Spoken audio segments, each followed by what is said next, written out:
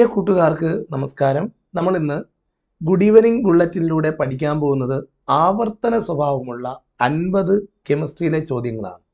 ഈ ചോദ്യങ്ങൾ പലതും ആവർത്തന സ്വഭാവമുള്ളവയും റാങ്ക് മേക്കിംഗ് ആയിട്ടുള്ള ചോദ്യങ്ങളും കൂടിയാണ്.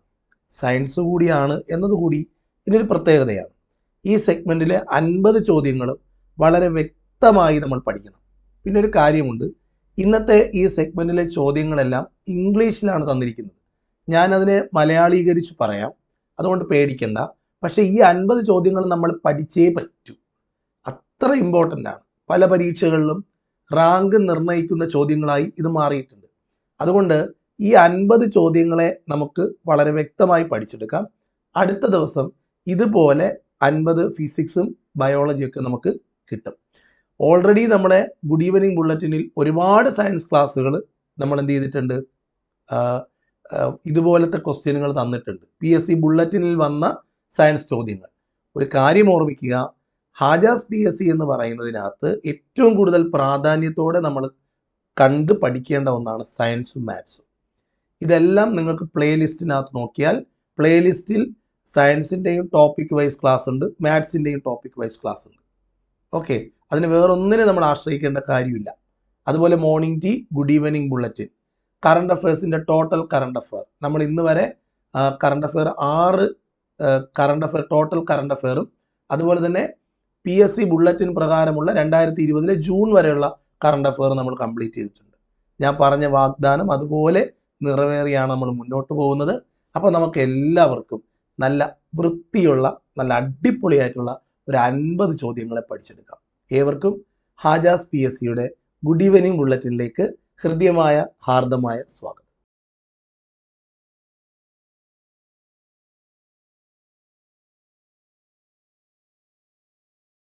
നമുക്ക് ക്ലാസ്സിലേക്ക് പോവാം. നമുക്ക് അൻപത് ആ ചോദ്യങ്ങളെ പരിചയപ്പെടാം. ശ്രദ്ധിക്കുക ഇംഗ്ലീഷിലാണ്. അതുകൊണ്ട് നമ്മൾ സ്കിപ്പൊന്നും ചെയ്യണ്ട. ഞാൻ എല്ലാത്തിന്റെയും മലയാളം പറഞ്ഞു തരും കേട്ടോ. ഓക്കെ നോക്കാം. Water gas is a mixture of water gas എന്തിന്റെ എല്ലാം മിശ്രിതമാണ്? ഇവിടെ നമുക്ക് ചോദ്യത്തിന്റെ നാല് ഓപ്ഷൻസ് ഉണ്ട്. ഉത്തരം ബോൾഡ് ചെയ്തിട്ടുണ്ട്. അതുകൊണ്ട് പെട്ടെന്ന് ഉത്തരം കണ്ടുപിടിക്കാം. നമുക്ക് നല്ല പോലെ പഠിച്ചെടുക്കാം കേട്ടോ. കാർബൺ മോണോക്സൈഡിന്റെയും ഹൈഡ്രജന്റെയും മിക്സ്ചറാണ് വാട്ടർ ഗ്യാസ് എന്ന് പറയുന്നത്. അപ്പോൾ വാട്ടർ ഗ്യാസ് എന്തിന്റെയൊക്കെ മിക്സ്ചറാണെന്ന് ചോദിച്ചാൽ പറയണം. കാർബൺ മോണോക്സൈഡിന്റെയും ഹൈഡ്രജന്റെയും മിക്സ്ചറാണ് ഓക്കെ ഇതിനെയാണ് നമ്മൾ വാട്ടർ ഗ്യാസ് എന്ന് പറയുന്നത്. സിൻ ഗ്യാസ് എന്നും പറയും കേട്ടോ.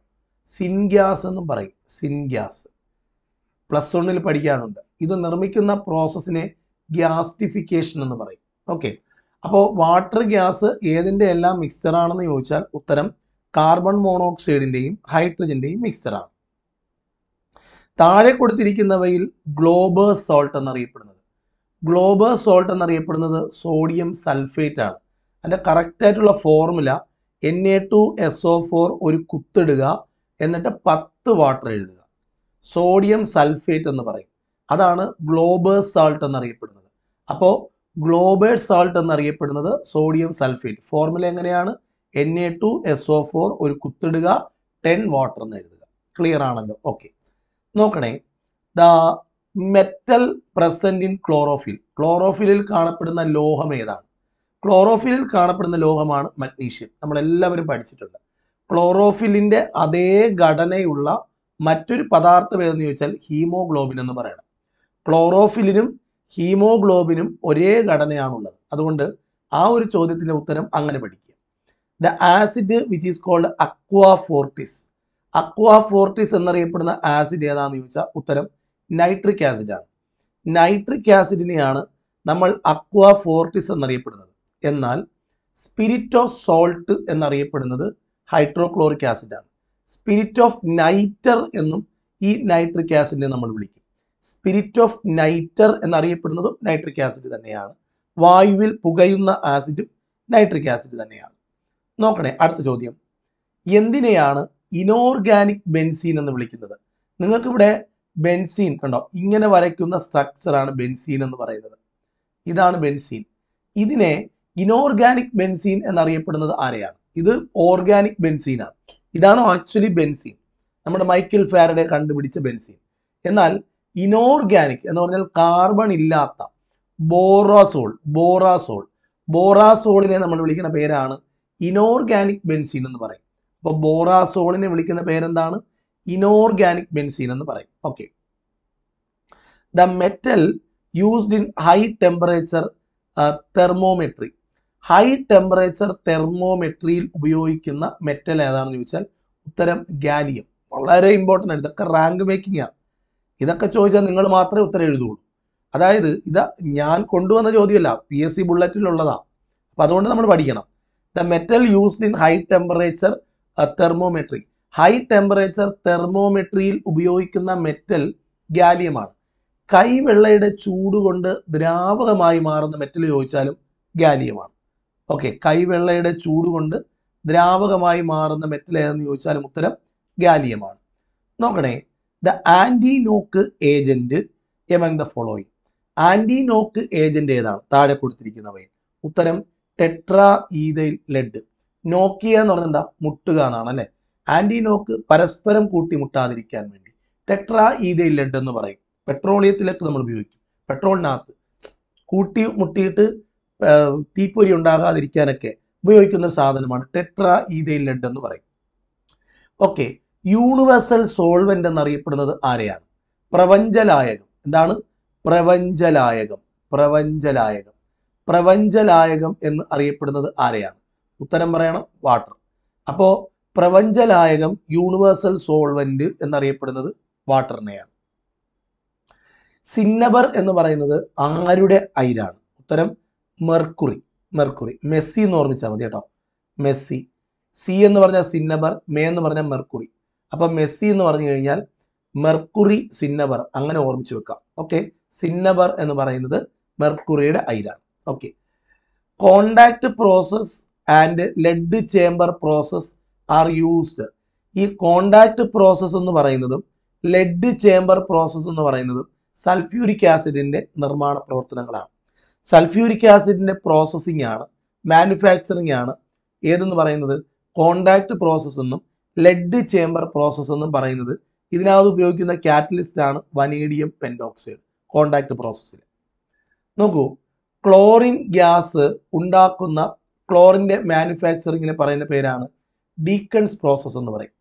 ക്ലോറിന്റെ നിർമ്മാണ പ്രവർത്തനങ്ങളെ വിളിക്കുന്ന പേര് ഡീക്കൺസ് പ്രോസസ് എന്നാണ്. ഹൈഡ്രജൻ ആണ് ബോഷ് പ്രോസസ് അത് ഓർമ്മിച്ചേക്കണം ഹേബർ പ്രോസസ് അമോണിയ ആണ്. നൈട്രിക് ആസിഡ് ആണ് Ostwald process the isotope of hydrogen that does not contain any neutron ഹൈഡ്രജന് മൂന്ന് പ്രധാനപ്പെട്ട ഐസോടോപ്പുകളുണ്ട് അതിൽ ന്യൂട്രോൺ ഇല്ലാത്തത് ആർക്കാണ്? ഉത്തരം പ്രോട്ടീൻ ന്യൂട്രോൺ ഇല്ലാത്ത ഹൈഡ്രജന്റെ ഐസോടോപ്പ് ഏതാന്ന് ചോദിച്ചാൽ ഉത്തരം പ്രോട്ടിയം ആണെന്ന് ഉത്തരം പറയണം. പ്രോട്ടിയം ശരിയായ ഉത്തരം പ്രോട്ടിയമാണ് ഇതാ നോക്കൂ. The non metal the non metal which exist as liquid in room temperature room ടെമ്പറേച്ചറിൽ ലിക്വിഡായി കാണപ്പെടുന്ന നോൺ മെറ്റൽ ആരാണ്? ഉത്തരം ബ്രോമിനാണ് non metal which exist as liquid ലിക്വിഡായിട്ട് കാണപ്പെടുന്ന റൂം ടെമ്പറേച്ചറിൽ റൂം ടെമ്പറേച്ചറിൽ ലിക്വിഡായിട്ട് കാണപ്പെടുന്ന നോൺ മെറ്റൽ ഏതാന്ന് ചോദിച്ചാൽ ബ്രോമിനാണ് നമ്മൾ സാധാരണ ലബോറട്ടറിയിൽ ബ്രൗൺ നിറത്തിലുള്ള കുപ്പികളിൽ നിറച്ചു വെക്കും. കാരണം അത് പെട്ടെന്ന് സൂര്യപ്രകാശത്തിന്റെ സാന്നിധ്യത്തിൽ ഇവാപ്രേറ്റ് ചെയ്തു പോകും. അതാണ് ബ്രോമിൻ എന്ന് പറയുന്നത്. ഓർത്തു വെക്കണേ. അതുപോലെ തന്നെ Lord Rayleigh and William Ramsay were awarded Nobel prize nineteen nought four ഈ ആയിരത്തി തൊള്ളായിരത്തി നാലിൽ ലോർഡ് റെയ്ലിക്കും വില്യം റാംസേക്കും എന്തിനാണ് നൊബേൽ സമ്മാനം കിട്ടിയത്? നോബിൾ ഗ്യാസുകളുടെ കണ്ടുപിടുത്തം. Helium neon argon krypton xenon radon എന്ന് പറയുന്ന ഈ ആറ് വാതകങ്ങളെ നോബിൾ ഗ്യാസ് രാസപ്രവർത്തനങ്ങളിൽ പങ്കെടുക്കാത്തവർ പീരിയോഡിക് ടേബിളിലെ പതിനെട്ടാമത്തെ ഗ്രൂപ്പുകാർ അവരുടെ കണ്ടുപിടുത്തം നോബിൾ ഗ്യാസ്. അത് കണ്ടുപിടിച്ചതിനാണ് ലോർഡ് റെയിലിക്കും വില്യം റാംസേക്കും എന്ത് കിട്ടിയത്? നൊബേൽ സമ്മാനം. ഏത് വർഷം? ആയിരത്തി തൊള്ളായിരത്തി നാലിൽ കിട്ടിയത്. നോക്കൂ ബേസ് റിയേജന്റ് എന്നറിയപ്പെടുന്നത് ഭയങ്കര ഇമ്പോർട്ടന്റ് ആണ്. റാങ്ക് മേക്കിംഗ് ആണ്. ബേസ് റിയേജന്റ് എന്ന് പറയുന്നത് ഡൈലൂട്ട് ചെയ്ത alkaline solution of potassium permanganate K M N O four എന്ന് പറയുന്നത് പൊട്ടാസ്യം പൊട്ടാസ്യം പെർമാംഗനേറ്റ് ആണ്. ഈ പൊട്ടാസ്യം പെർമാംഗനേറ്റിൽ നിന്നും ഇങ്ങനെ ഒരു ചോദ്യം പി എസ് സിക്ക് ഉണ്ട്. അറിഞ്ഞിരിക്കണം. ബേസ് റിയേജന്റ് എന്നറിയപ്പെടുന്നത് ആൽക്കലിയിൽ ലയിപ്പിച്ച പൊട്ടാസ്യം പെർമാംഗനേറ്റ് ആണ്. നല്ല വെള്ളം പോലെ ഇരിക്കും. ഇനി ഞാൻ പറയണത് കേട്ടോണം. ഈ പൊട്ടാസ്യം പെർമാംഗനേറ്റ് ജലശുദ്ധീകരണത്തിന് ഉപയോഗിക്കുന്ന പൊട്ടാസ്യം സംയുക്തം എന്ന് പി എസ് ചോദിക്കും. വെള്ളം ശുദ്ധീകരിക്കാൻ ഉപയോഗിക്കുന്ന പൊട്ടാസ്യം സംയുക്തം. അപ്പോഴും നമ്മൾ പറയണം പൊട്ടാസ്യം പെർമാംഗനേറ്റ് ആണ്. ക്ലിയർ ആണ്. ഓക്കെ ബ്രാസ് എന്ന് പറയുന്നത്. ഓക്കെ ബ്രാസ് ഏതിന്റെ എല്ലാം അലോയിയാണ് ബ്രാസ് ബ്രാസ് എന്ന് പറഞ്ഞാൽ പിച്ചള എന്ന് പറയും. പിച്ചള. പിച്ചള എന്ന് പറയുന്നത് ഏതിന്റെ എല്ലാം അലോയിയാണ് കോപ്പറും സിങ്കും പീരിയോഡിക് ടേബിളിലെ അടുത്തടുത്ത എലമെന്റ് ആണ് കോപ്പറും സിങ്കും കോപ്പർ എന്ന് പറഞ്ഞാൽ അറ്റോമിക് നമ്പർ ഇരുപത്തൊമ്പതും. സിങ്ക് എന്ന് പറഞ്ഞാൽ മുപ്പതുമാണ്. ഇതിന്റെ രണ്ടിനെയും കൂടെ കോംബോയാണ് കോമ്പിനേഷനാണ് കോപ്പർ സിങ്ക് കോമ്പിനേഷൻ ബ്രാസ് എന്ന് പറയും. ബ്രാസ് പിച്ചള. വീട്ടുപകരണങ്ങൾ വാദ്യോപകരണങ്ങളൊക്കെ ഉണ്ടാക്കാൻ ഉപയോഗിക്കാറുണ്ട്. ഡ്രൈ ഐസ് എന്താണ്? എത്രയോ പി എസ് സി പരീക്ഷകളിൽ ചോദിച്ച ചോദ്യമാണ്. ഡ്രൈ ഐസ് സോളിഡ് ആയിട്ടുള്ള കാർബൺ ഡൈ ഓക്സൈഡിനെയാണ് നമ്മൾ ഡ്രൈ ഐസ് എന്ന് പറയുന്നത്. സോളിഡ് ആയിട്ടുള്ള കാർബൺ ഡൈ ഓക്സൈഡ് സാധാരണ കാർബൺ ഡൈ ഓക്സൈഡ് ഗ്യാസ് ആണ് അതിനെ സോളിഡ് ആക്കി വെച്ചിരിക്കുന്ന കാർബൺ ഡൈ ഓക്സൈഡിനെയാണ് നമ്മൾ ഡ്രൈ ഐസ് എന്ന് പറയുന്നത്. കാർബൺ ഡൈ ഓക്സൈഡ് കണ്ടുപിടിച്ചത് ജോസഫ് ബ്ലാക്ക് ആണ്. നമുക്ക് എല്ലാവർക്കും അറിയാം. സിൽവർ നൈട്രേറ്റിനെ പറയുന്ന പേരെന്താണ്? ലൂണാർ കാസ്റ്റിക് എന്ന് പറയും. ശ്രദ്ധിക്കണം. ലൂണാർ കാസ്റ്റിക് എന്ന് അറിയപ്പെടുന്നത് സിൽവർ നൈട്രേറ്റ് ആണ്. സിൽവർ നൈട്രേറ്റിനെയാണ് ലൂണാർ കാസ്റ്റിക് നമ്മൾ സാധാരണ വോട്ടിടാൻ പോകുമ്പോൾ നമ്മുടെ കയ്യിലൊരു മഷി വിരട്ടാറില്ലേ? അത് ഈ സിൽവർ നൈട്രേറ്റ് ആണ്. ലൂണാർ കാസ്റ്റിക് കാസ്റ്റിക് സോഡ എന്ന് പറഞ്ഞ വേറൊരു സാധനമുണ്ട്. അതാണ് sodium hydroxide. Caustic soda.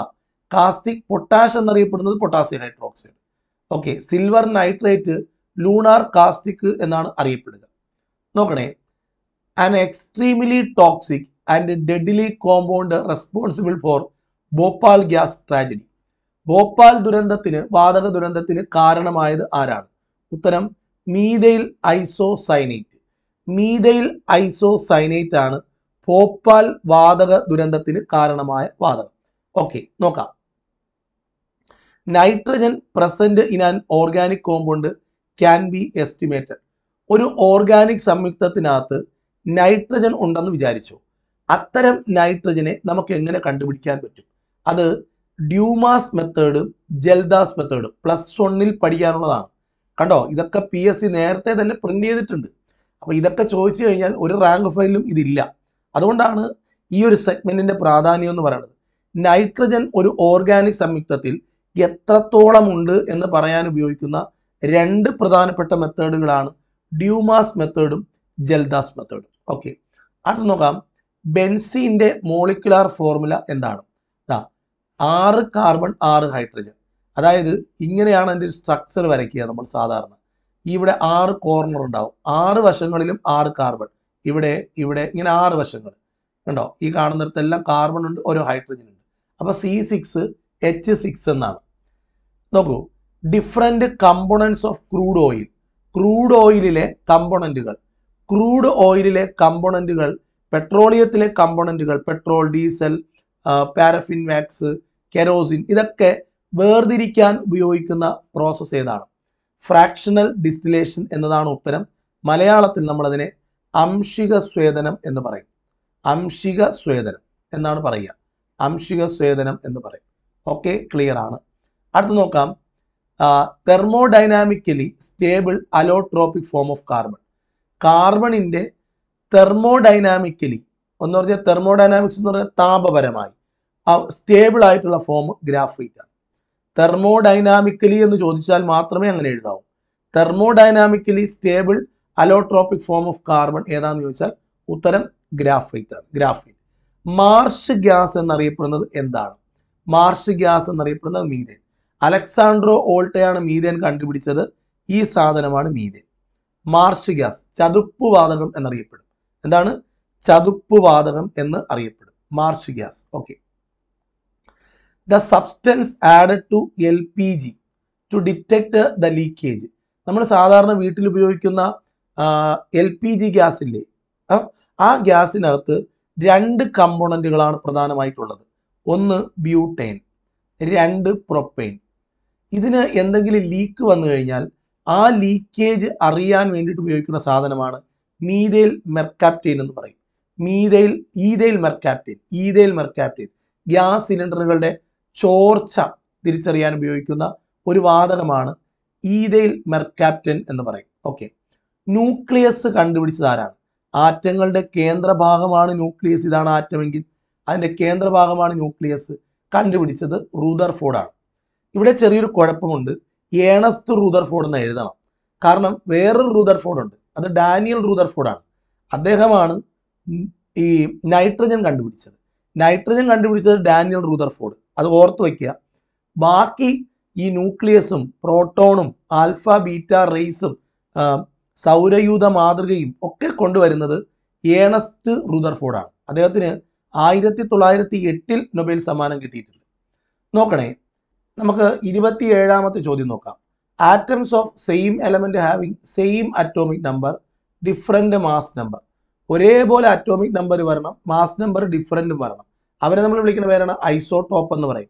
ഇവിടെ ഐസോമേഴ്സിലാണ് ബോൾഡ് ചെയ്തിരിക്കുന്നത്. അത് തെറ്റാണ്. ശരിയായ ഉത്തരം ഐസോടോപ്പാണ് ഐസോടോപ്പിന്റെ പ്രത്യേകത same atomic number different mass number നേരെ തിരിച്ചു വന്നു കഴിഞ്ഞാൽ നമ്മൾ അതിനെ ഐസോ ബാർ എന്ന് പറയും. കേട്ടോ? ഐസോമർ എന്ന് പറയുന്നത് തെറ്റാണ്. ഐസോമർ എന്ന് പറഞ്ഞു കഴിഞ്ഞാൽ ഒരേ മോളിക്കുലാർ ഫോർമുലയും ഡിഫറെന്റ് സ്ട്രക്ചറും വരുന്ന ആൾക്കാരെയാണ് നമ്മൾ ഐസോമർ എന്ന് പറയുക. നോക്കണേ. The maximum number of electrons that can accommodate in a in an orbit അതായത് ഒരു ഓർബിറ്റലിൽ ഓർബിറ്റ് എന്നല്ല ഓർബിറ്റൽ എന്നാണ്. അതായത് നമുക്കറിയാലോ പി എന്ന് പറയുന്ന ഓർബിറ്റൽ എസ് എന്ന് പറയുന്നത് ഓർബിറ്റൽ എസ് എന്ന് പറയുന്ന ഓർബിറ്റ് സബ്ഷെല്ലുകളാണല്ലോ എസ് എന്ന് പറയുന്നത് പി എന്ന് പറയുന്നത്. പിക്കകത്ത് ആറ് ഇലക്ട്രോൺ കൊള്ളും. എസിനകത്ത് രണ്ട് ഇലക്ട്രോണേ കൊള്ളത്തുള്ളൂ. എസ് എന്ന് പറഞ്ഞ ഷേപ്പ് സ്പെറിക്കലായിരിക്കും അതിനകത്ത് രണ്ട് ഇലക്ട്രോണേ പറ്റൂ. എന്നാൽ പിക്കകത്ത് ആറ് പറ്റും. പിയുടെ ഷേപ്പ് ഡംബൽ ഷേപ്പാണ് ഇങ്ങനെ ഇരിക്കും. ഡംബൽ ഇതാണ് പിയുടെ ഒരു ഷേപ്പ് പിയുടെ രണ്ടാമത്തെ ഷേപ്പ് ഇതാണ്. പിയുടെ മൂന്നാമത്തെ ഷേപ്പ് ഇങ്ങനെയാണ്. ഇതിനെ P X P Y P Z എന്ന് പറയും. ഇവിടെ രണ്ട് ഇലക്ട്രോൺ ഇവിടെ രണ്ട് ഇലക്ട്രോൺ ഇവിടെ രണ്ട് ഇലക്ട്രോൺ അങ്ങനെയാണ് മൊത്തത്തിൽ നമ്മൾ ആർ എന്ന് പറയുന്നത്. അപ്പോൾ ഒരു ഓർബിറ്റിനകത്ത് എത്ര ഇലക്ട്രോൺ എന്ന് ചോദിച്ചാൽ രണ്ട് ഇലക്ട്രോൺ എന്നേ പറയാം ഓക്കെ ഒരു ഓർബിറ്റലിനകത്ത് അതായത് ഇപ്പോൾ ഇങ്ങനെയാണ് ഉദ്ദേശിക്കുന്നവർ ഇതായത് ഇവിടെ ഇതിനകത്ത് രണ്ട് ഇതിനകത്ത് രണ്ട് ഇതിനകത്ത് രണ്ട്. ഇത് ഓരോന്നും പി ആണ്. അങ്ങനെ മൊത്തത്തിൽ എത്രയായി? എത്രയായി? ആറെണ്ണമായി അപ്പോൾ അതുപോലെ തന്നെ എസിനകത്ത് രണ്ട് ഇലക്ട്രോണേ പറ്റുള്ളൂ. ഡി എടുത്താലും ഡിക്കകത്തും ഓരോ ഡിയിലും രണ്ടെണ്ണേ പറ്റുള്ളൂ. അങ്ങനെ ഡിക്ക് അഞ്ച് ഷേപ്പ് ഉണ്ട്. അഞ്ച് ഓറിയന്റേഷൻ ഉണ്ട്. അങ്ങനെയാണ് പത്താവുന്നത്. ഓക്കെ അപ്പോൾ എത്ര? ഇത് ഇപ്പോൾ ഈ റീസെന്റ് ആയിട്ട് L P U P examination ചോദിച്ചൊരു ചോദ്യമാണ്. ഓക്കെ നോക്കണേ. നോക്കൂ. എഫ് എൽ എന്ന് പറയുന്നത് എന്തിന്റെ സിമ്പലാണ് നല്ല ചോദ്യമാണ്. ഫ്ലെറോവിയം എന്ന് പറഞ്ഞൊരു എലമെന്റ് ഉണ്ട്. അതിന്റെ സിമ്പലാണ് എഫ് എൽ വെറും എഫ് ആണെങ്കിൽ ഫ്ലൂറിൻ എന്ന് പറയാം. ഓക്കെ ഓക്കെ എഫ് ആർ ആണെങ്കിൽ ഫ്രാൻഷിയോ എന്ന് പറയാം. എന്നാൽ ഈ എഫ് എൽ ഇ എന്നാണ്. ഫ്ല ഫ്ലറോവിയം ഫ്ലറോവിയം എന്ന് പറയുന്നത് ഇതിന്റെ സിമ്പലാണ് എഫ് എൽ നോക്കൂ. Iso isosters are molecules containing same number of ah atoms and electrons എന്നാണ്. ഐസോ ഐസോസ്റ്റേഴ്സ് എന്ന് പറയും. Are molecules containing same number of atoms and electrons okay Avogadro number എത്രയാണ്? അവഗാഡ്രോ നമ്പർ എന്ന് പറയുന്നത് ഇതാണ്. Six point nought two two into ഒരു two കൂടെ കൊടുക്കണം കേട്ടോ. Into ten raise to twenty three അതിനെയാണ് നമ്മൾ അവഗാഡ്രോ നമ്പർ ട്വന്റി ടു എന്നൊന്നും പഠിക്കരുത്. ട്വന്റി ത്രീ ആണ് correct six point nought two two into ten raise to twenty three ആണ്. അറ്റോമിക് മാസ് യൂണിറ്റ് എന്ന് പറയും. അതായത് ആറ്റങ്ങളുടെ ഭാരം അളക്കാൻ ഉപയോഗിക്കുന്ന ഒരു യൂണിറ്റാണ് ഒരു അറ്റോമിക് മാസ് യൂണിറ്റ് എന്ന് പറയുന്നത് one by twelfth mass of ഏത് ആറ്റം കാർബൺ പന്ത്രണ്ട്. കാർബൺ പന്ത്രണ്ട് ആറ്റത്തിന്റെ ഒന്നേ ബൈ പന്ത്രണ്ട് ഭാഗത്തെയാണ് നമ്മൾ ഒരു അറ്റോമിക് മാസ് യൂണിറ്റ് എന്ന് പറയുന്നത്. എന്ന് വെച്ചാൽ ഒരു കാർബണിന്റെ എത്രയുണ്ടോ അതിനെ നമ്മൾ പന്ത്രണ്ടായിട്ട് കീറിയാൽ അതിന്റെ ഒരു ഭാഗത്തിന് എത്രത്തോളം മാസ് ഉണ്ടോ അതിനെയാണ് നമ്മൾ എന്ത് പറയുക? ഒരു അറ്റോമിക് മാസ് യൂണിറ്റ് എന്ന് പറയുന്നത് അപ്പോൾ അത് ഓർമ്മിച്ചോണം കാർബൺ പന്ത്രണ്ടിന്റെ ഒന്നേ ബൈ പന്ത്രണ്ട് ഭാഗമാണ് ഒരു atomic mass unit uncertainty principle അത് പറഞ്ഞാൽ അനിശ്ചിതത്വ സിദ്ധാന്തം. ഒരു ആറ്റത്തിനകത്തിരിക്കുന്ന ഇലക്ട്രോണിന്റെ കൃത്യമായ മൊമെന്റവും കൃത്യമായ പൊസിഷനും ഒരിക്കലും നമുക്ക് പ്രവചിക്കാൻ കഴിയില്ല. ഇതാണ് ആ നിയമം. ആ നിയമം കൊണ്ടുവന്ന ആളിന്റെ പേരാണ് ഹെയ്സൻബർഗ് എന്ന് പറയും. ആരാണ്? ഹെയ്സൻബർഗ്. അപ്പോൾ ഹെയ്സൻബർഗ് ആണ് അൺസർട്ടൈനിറ്റി പ്രിൻസിപ്പിൾ അല്ലെങ്കിൽ അനിശ്ചിതത്വ സിദ്ധാന്തം പ്രസ്താവിച്ചത്. നോക്കൂ വാട്ടറിന്റെ മാക്സിമം ഡെൻസിറ്റി എത്രയാണെന്ന് ചോദിച്ചു കഴിഞ്ഞാൽ വാട്ടറിന് മാക്സിമം ഡെൻസിറ്റി ഉണ്ടാവുന്നത് നാല് ഡിഗ്രി സെൽഷ്യസിലാണ്. വാട്ടർ ഹാസ് മാക്സിമം ഡെൻസിറ്റി എത്രയെന്ന് ചോദിച്ചാൽ നാല് ഡിഗ്രിയിലാണ്. നോക്കണേ. അടുത്തത് water exist as liquid due to the presence of. നമ്മുടെ ജലം ദ്രാവകാവസ്ഥയിൽ കാണപ്പെടാൻ കാരണം എന്താണ് ഉത്തരം ജലതന്മാത്രകൾക്കിടയിലുള്ള ഹൈഡ്രജൻ ബോണ്ട്. വെള്ളത്തിനകത്തിരിക്കുന്ന ബോണ്ട് കൊവാലന്റ് ബോണ്ടാണ് അത് നിങ്ങൾ പഠിക്കണം. വെള്ളത്തിനകത്ത് എന്ന് പറഞ്ഞാൽ ഇതൊരു വെള്ളമാണെന്ന് വിചാരിച്ചു. ഈ വെള്ളത്തിനകത്ത് ഞാൻ ഈ വരച്ചിരിക്കുന്ന വര കണ്ടോ? ഇതെന്ന് പറയുന്നത് കൊവാലന്റ് ബോണ്ടാണ് എന്നാൽ ഒരു വെള്ളവും അടുത്ത വെള്ളവും തമ്മിലൊരു ബോണ്ടുണ്ട് അതാണ് അങ്ങനെ ഈ വെള്ളത്തിലെ ഓക്സിജനും അടുത്ത വെള്ളത്തിലെ ഹൈഡ്രജനും ഈ ബോണ്ടാണ് ഹൈഡ്രജൻ ബോണ്ട് ഈ ഒരു ബോണ്ട് ഉള്ളത് കൊണ്ടാണ് വെള്ളം ദ്രാവകാവസ്ഥയിൽ കാണപ്പെടുന്നത്. മനസ്സിലായോ? ജലത്തിന്റെ ഉള്ളിലെ ജലതന്മാത്രയുടെ ഉള്ളിൽ അല്ലെങ്കിൽ ജലതന്മാത്ര അകത്ത് കാണപ്പെടുന്ന ബോണ്ട് കൊവാലന്റ് ബോണ്ടാണ് സഹസംയോജക ബന്ധനം covalent ബോണ്ടിന്റെ Malayalam.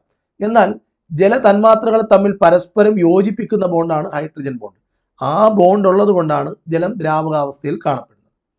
The most abundant element in human body മനുഷ്യ ശരീരത്തിൽ ഏറ്റവും കൂടുതലായി കാണപ്പെടുന്ന മൂലകം ഏതെന്ന് ചോദിച്ചാൽ ഉത്തരം പറയണം ഓക്സിജനാണ് ലോഹം ചോദിക്കുകയാണെങ്കിൽ കാൽഷ്യം. മനുഷ്യ ശരീരത്തിൽ ഏറ്റവും കൂടുതലായി കാണപ്പെടുന്ന ലോഹം എന്നാണ് ചോദ്യമെങ്കിൽ ഉത്തരം കാൽഷ്യമാണ്. നോക്കണേ. The polymer used to make non stick utensils അതായത് ഒട്ടിപ്പിടിക്കാത്ത ഈ പാചകപാത്രങ്ങൾ നിർമ്മിക്കാൻ ഉപയോഗിക്കുന്നത് ടെഫ്ലോൺ. വാഹനങ്ങളിൽ കളർ ഫെയ്ഡ് ആവാതിരിക്കാൻ വേണ്ടിയിട്ട് ചേർക്കുന്നതും ഈ ടെഫ്ലോൺ തന്നെയാണ്. അപ്പോൾ അപ്പോൾ നോൺ സ്റ്റിക്കി പാത്രങ്ങളിൽ ഉപയോഗിക്കുന്ന ടെഫ്ലോൺ സെക്കൻഡറി സെല്ല് എന്ന് പറഞ്ഞാൽ വീണ്ടും വീണ്ടും വീണ്ടും റീചാർജ് ചെയ്ത് ഉപയോഗിക്കാൻ കഴിയുന്ന ബാറ്ററികളെയാണ് സെക്കൻഡറി ബാറ്ററികൾ എന്ന് പറയുക. അതിന് എക്സാമ്പിൾ ആണ് ലെഡ് സ്റ്റോറേജ് സെൽ ഏതാണ്? ലെഡ് സ്റ്റോറേജ് ബാറ്ററി എന്ന് പറയും. നോക്കണേ ലോ ഓഫ് ഒക്ടേവ് അഷ്ടക നിയമം. അഷ്ടക നിയമം എന്നാണ് പറയുക. അഷ്ടക നിയമം. ഒരുപാട് നമ്മുടെ പി എസ് സി ചോദിച്ച ചോദ്യം അത്.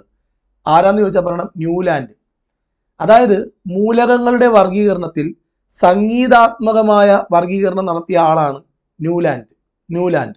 അതായത് അദ്ദേഹത്തിന്റെ വർഗീകരണത്തിൽ എട്ടാമത്തെയും ഒന്നാമത്തെയും എലമെന്റുകൾ ഒരേ സ്വഭാവ സവിശേഷതകൾ പ്രകടമാക്കും. അതാണ് അതിന്റെ പ്രത്യേകത. നോക്കാം.